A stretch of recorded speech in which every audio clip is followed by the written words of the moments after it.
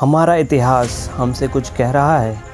कुछ सभ्यताएँ जो ख़त्म हो गईं। अचानक आदि मानव और उनका जीवन कैसे उत्पत्ति हुई?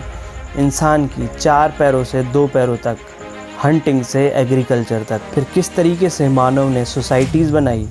यातायात की नए नए तरीके ढूंढे। नई सभ्यताओं का उद्गमन और उनका पतन। राजाओं का शासन। एक दूसरों से युद्ध संगम एज, छोला एम्पायर्स और उनका साम्राज्य, दिल्ली सल्तनत।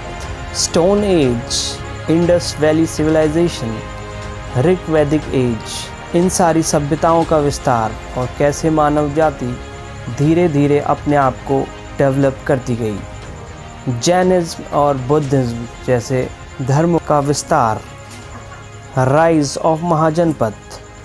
ये सारी चीज़ें हम देखेंगे इस सीरीज़ में, जो कि है एंशेंट हिस्ट्री सीरीज़ सबसे पहले देखते हैं हम स्टोन एज जहाँ से मानव जाति का उद्गम हुआ। मानव जाति वहाँ से डेवलप होना चालू हुई।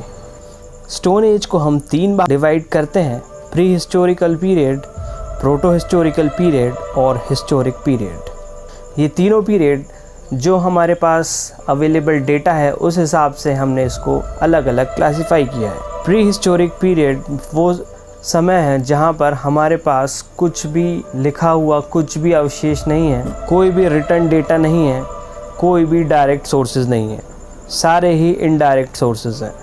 प्रोटो हिस्टोरिकल पीरियड में हमें चीज़ें लिखी हुई मिली, लेकिन हम उन्हें पढ़ नहीं सकते। इंडस वैली सिविलाइजेशन और हड़प्पा उसके मेन एग्जाम्पल्स हैं। जो कि लिखे तो हैं, लेकिन कोई भी आज तक उन्हें पढ़ नहीं पाया और समझ नहीं पाया। और उसके बाद का समय, जब 8000 बिफोर कॉमन एरा के बाद की एज है का नाम है, हिस्टोरिक पीरियड, जिसमें मनोस्क्रिप्चर्स क्वाइंस और अभिलेख जो हमें प्राप्त हुए, जिनको हम पढ़ के अंदाज़ा लगा सकते हैं, इंसान क्या कर रहा था। अब प्री हिस्टोरिकल पीरियड को हम देखते हैं और उसको डिवाइड करते हैं depending upon the type of tools we get during that time जिस तरह के स्टोन्स प्राप्त हुए, उस हिसाब से हमने इसको तीन भागों में डिवाइड किया है। मीज़ोलिथिक नियोलिथिक और पेलियोलिथिक एज पेलियोलिथिक पीरियड में हमें बड़े बड़े पत्थर प्राप्त हुए, जिससे हम अंदाज़ा लगा सकते हैं कि उस वक्त आदमी केवल हंटिंग और फ्रूट गैदरिंग करता था। उस वक्त तक एग्रीकल्चर स्टार्ट नहीं हुआ था। ये वक्त था दो मिलियन बिफोर कॉमन एरा से लगा के तो 12,000 बिफोर कॉमन एरा तक। जब इंसान फ़ूड गैदरिंग और हंटिंग पर बेस्ड था फिर उसके बाद मीजोलिथिक पीरियड के अंदर हमें बड़े बड़े पत्थर से अब छोटे छोटे पत्थर मिलने लगे जिससे ये अंदाज़ा कर सकते हैं कि अब बड़े पत्थरों को काट के तराश कर उनके छोटे पत्थर और अच्छे औज़ार बनाए जाने लगे। ये टाइम पीरियड है 12,000 बिफोर कॉमन एरा से 8,000 बिफोर कॉमन एरा तक। इस वक्त नए नए पेड़ों की उत्पत्ति हो रही थी।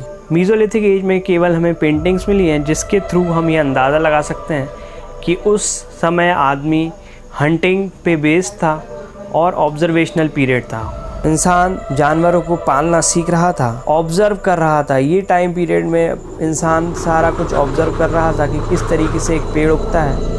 उसका बीज गिरता है और फिर से पेड़ उग जाता है। तो इंसान ने वापस उस बीज को अलग जगह उगा, खेती करना चालू किया। मीजोलिथिक पीरियड की सबसे फ़ेमस और इम्पोर्टेंट साइट्स जो हमें मिली है खुदाई में, वो है राजस्थान की बात हम और मध्य प्रदेश की आदमगढ़, जहाँ पर पेंटिंग वगैरह हमें प्राप्त हुई, जिससे हम आसानी से अंदाज़ा लगा सकते हैं उस वक्त के इंसान के बारे में। अब न्योलिथिक एज जब इंसान ने और छोटे छोटे पत्थरों को तराशना चालू किया और अपनी लाइफ को चेंज किया।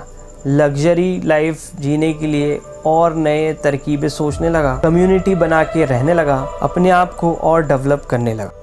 न्यूलिथिक एज को हम न्यू स्टोन एज भी कहते हैं। अब इंसान धीरे धीरे ऑब्जर्वेशनल एज से अब इम्प्लीमेंटेशन एज में आने लगा। अपने टूल्स बनाने लगा एग्रीकल्चर खुद ही करने लगा और कई सारे अवशेष मिले हैं जहाँ पर हमने देखा कि जो है घर भी बनाने लगा इंसान। जानवरों को पालने लगा। यहाँ तक कि जो डेड बॉडी है, उसके ग्रेवयार्ड बनाने लगे। कई सारी साइट्स हमें मिली हैं जिससे हम कई सारे इम्पोर्टेंट अंदाजे लगा सकते हैं। जैसे बुरजा होम में हमें एक ग्रेव मिली है, जहाँ पर एक इंसान और एक उसका पेट डॉग साथ में ही दफन किए गए थे। गुप्त के राज के अंदर हमें चीज़ें जो है जम्मू कश्मीर में एक्सक्लेवेट होके मिली। उसके बाद महागढ़ में हमें रेक्टेंगुलर हाउसेस मिले जो कि मिट्टी के बने हुए थे। चिरान में एक अलग ही चीज़ मिली। यहाँ पर कई सारे टूल्स मिले जो कि हड्डियों से बनाए गए थे। दहोजली हैंडलिंग के अंदर हमें मोटर और पेस्टल मिले, जिसके थ्रू हम ये अंदाज़ा लगा सकते हैं कि खाने को और फर्दर प्रोसेस करके बनाया जाने लगा। पिछले हाल में हमें कई सारे एविडेंस मिले हैं जो प्रूव करते हैं कि यहाँ पर और अच्छे तरीके से खेती, यहाँ तक कि झूम कल्टीवेशन भी हमें यहाँ पर देखने को मिलता था।